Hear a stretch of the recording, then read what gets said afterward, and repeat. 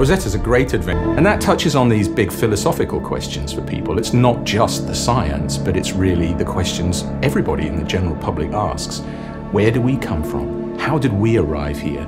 What's our history? Sam pomysł poprowadzenia takiej misji jest już w, za w założeniach nie niemożliwy. To znaczy, kiedy ta, ta misja była wymyślona, była, była ona niemożliwa do zrobienia. And we wanted to engage people, we wanted to excite people about this mission, not just the mission itself, but the bigger philosophical questions. Nie da się moim zdaniem inaczej mm, prowadzić rozwoju nie tylko naukowego, ale cywilizacyjnego, niż, niż rzucając się na niemożliwe rzeczy. No bo większość rzeczy, które nas otaczają, to są rzeczy niemożliwe. 100 lat temu, 200 lat temu to były rzeczy w ogóle magiczne. And what we were referencing there was NASA when they did their fantastic film called The Seven Minutes of Terror, when they put the Mars Curiosity rover down onto the red planet. From the top of the atmosphere down to the surface, it takes us seven minutes. But on the other hand, our lander takes about eight hours to go to the surface. So it's not seven minutes of terror, it's eight hours of boredom, if you like. Pamiętam, że pierwszy pomysł to było jakieś rozpracowanie misji Rosetta jak, jak skomplikowanego napadu na bank.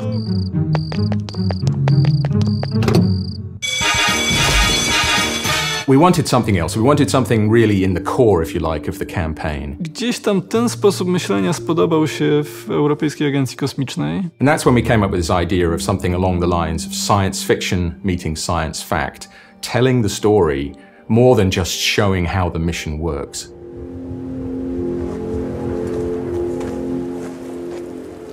Once upon a time. Really? This is a good one, I promise. Now, at the same time, we're a space agency. We don't make films of, th of this kind. So we knew we had to collaborate with somebody who had the vision and the skills and the talents to put together something really iconic. Ja Bogu dzięki wylądowałem w rozrywce i mogę podróżować na obce planety, wprawdzie w sposób nieco oszukany, ale za to znacznie szybciej i w bardziej efektowny sposób. And working with Tomek Bagiński has been great because he's got a, a, great track record in short films, in creative, some crazy films as well.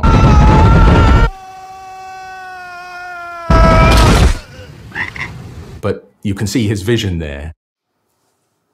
Trudno mi coś dodać. We developed the script, we iterated that backwards and forwards, and that was really good. And then we had to, of course, do a live shoot. And we went off to Iceland, which is a, a fascinating, beautiful landscape. And but in some ways barren, almost an alien landscape.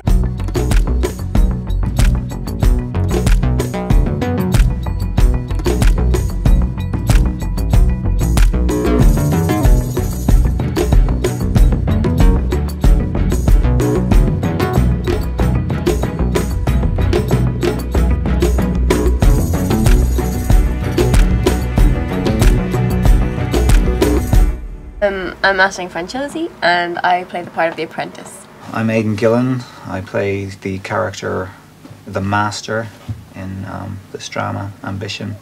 The Master is a post-human uh, teacher, guide, um, creator,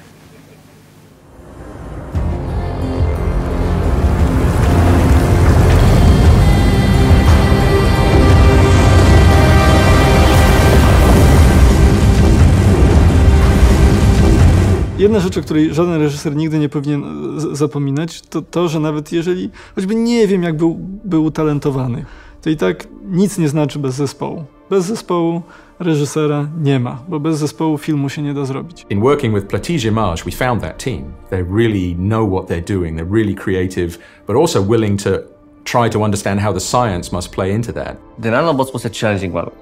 We knew, we all knew that it had to be a subtle, but interesting thing to look at. I also wanted to avoid doing a classical nanobots that would look like a brushed aluminium. I was looking for something that would be the opposite, something that would be really colorful, the, the water droplets flying around in the air. Nie jestem fanem chaosu jako takiego, nawet w symulacjach, które y, mogłyby w jakiś sposób narzucać chaotyczny ruch. W przypadku tworzenia planet skupiłem się na, na ruchu obrotowym, i połączyłem go z turbulencją na powierzchni planety. Every time when you are approaching a uh, shot or effect, you have to think of the point of reference for the audience. My main point of references were uh, nuclear explosions, which were filmed during the Cold War. You know, this mission is full of technical milestones and risks. The launch in 2004, getting out of hibernation in January this year, and then the rendezvous in August. These all had to work, else we had no mission at all. And those risks transfer to making the film. The biggest challenge probably was the weight of the whole thing.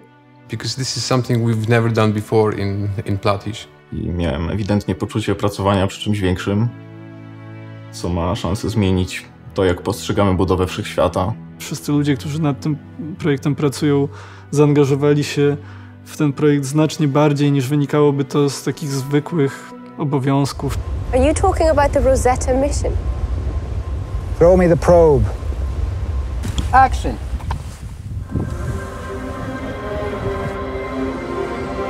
We harnessed whole planets and their gravity to chase down the comet. One of the key themes that we thought would tie this all together is, is the word ambition. Because Rosetta is a supremely ambitious mission. Latanie w kosmos zmusza nas do pewnego wysiłku, którego normalnie inaczej byśmy nie podjęli. Wychodzenia z takiego z comfort zone, jak to się mówi. This is a universal thing about human beings. To be ambitious, to plan, to prepare, but to take risks, be prepared to fail, but at least be ambitious enough to go and seize the moment and go and do something really big. In time, we turn to comets. One trillion celestial balls of ice, dust, complex molecules left over from the birth of our solar system, once thought of as messengers of doom and destruction, and yet so enchanting that we were to catch one.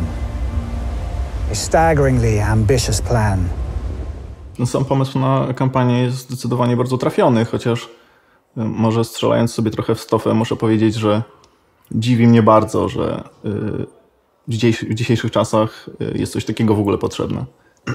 Ludzkość wysyła sondę w kosmos, która zamierza dogonić kometę i wylądować na jej powierzchni, a potrzebujemy wielkiego reżysera filmów i aktorów, żeby przekonać ludzi, że to jest interesujące.